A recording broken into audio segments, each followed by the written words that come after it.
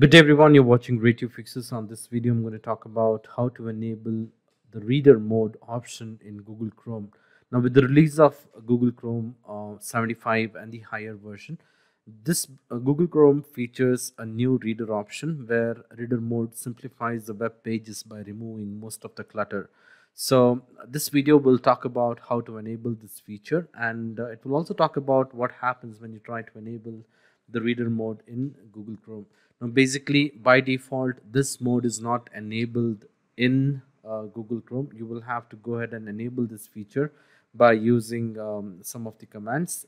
So all you have to do is you will have to open Google Chrome on your computer. Once you have opened Google Chrome on your computer, you will have to go ahead and type this command which says chrome colon forward slash forward slash flag enable dash reader dash mode I will also paste this command in the video description. You can also copy and paste it in the address bar.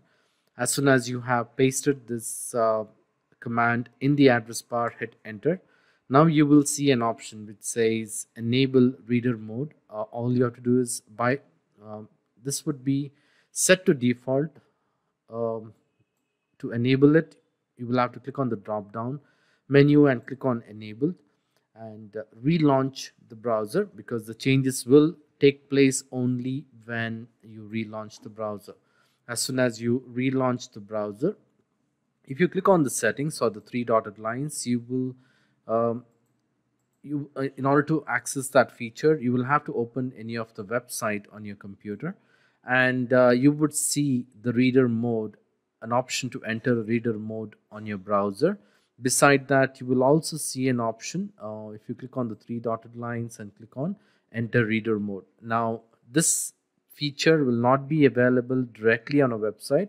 In order to uh, have this feature uh, visible or to enter the enter the reader mode you will have to go to a page and then click on um, the reader mode. Now let's see what happens when you click on enter reader mode either you can click on this icon or you can click on the three dotted lines and click on enter reader mode.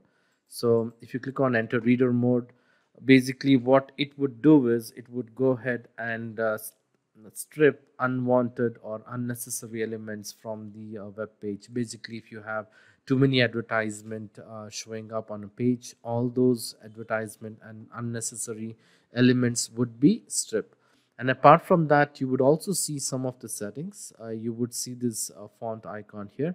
If you click on this you would see an option to customize the appearance as per your uh, preference. So you can also change the font size. In uh, this is by default uh, the fonts of a website.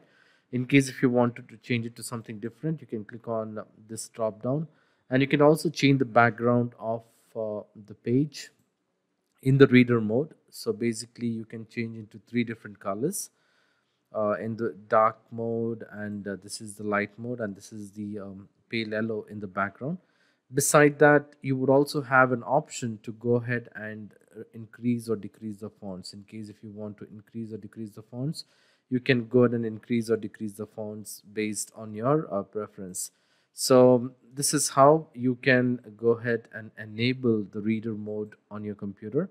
So like I said, you would not be able to access the reader mode when you're on a main page of the website. In order to have that option enabled, uh, if you look at this, you wouldn't see the reader mode here, enter reader mode option. If you want to navigate or if you want to see reader mode, you will have to click on that link, open that particular page and then you would see the reader mode option uh, on the browser. Now this is not a website feature. This is the uh, browser feature. So this is how you can go ahead uh, enable the reader mode on your uh, chrome. In case if you want to disable it enter the same command from the drop down set to default and that will set to default. The reader mode would be disabled. So i hope uh, this video was useful. In case if you like this video Please make sure to hit the like button and do not forget to subscribe to my channel. Thank you. Have a great day.